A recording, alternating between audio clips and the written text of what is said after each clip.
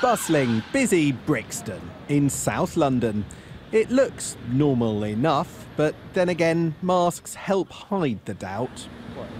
Large swathes of Britain are preparing for release within days.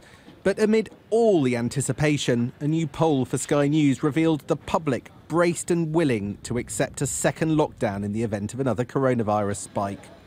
We found 83% saying they'd support a second lockdown, while only 9% told our pollsters YouGov they would oppose it. But accepting it doesn't mean relishing it come the autumn. It's very important to be around your family leading up to Christmas, and I think that would be really hard for me. But then, you know, if that's if that's what the science needs, then um, then yeah, I'd obviously support it and try and stick to it as hard as I can. I support the lockdown because I think we are part of a community and we have to help each other. This is the way to do that. We can't just run away from it. I'm very happy to stay at home and lock down again. This part of South London had one of the lowest number of COVID 19 cases, and with the entire hospitality sector on the brink, the days ahead are likely to be critical. This pub landlord nervous, but looking forward to the weekend. We're fully booked on Saturday, as in for the numbers that we want to have in safely, um, with, and that's still allowing people to walk in. So for us, it seems that everybody wants that Saturday as their first pint looking forward to welcome, welcoming back all, the, all our regulars. But it seems the public at this moment are less ready. 70% told YouGov they were uncomfortable about going back into pubs in the next week or two, while 60% said they felt uncomfortable at the prospect of eating a meal in a restaurant.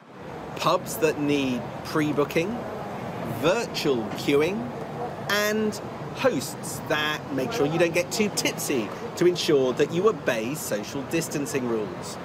Now, the headlines have called it Super Saturday, but our survey reveals that in truth, the British public are tiptoeing back to normality.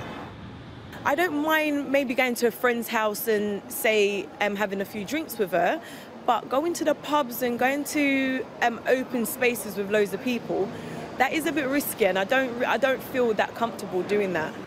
Similarly, 70% of the public said that they were uncomfortable returning to cinemas, 60% reluctant to return to shopping centres.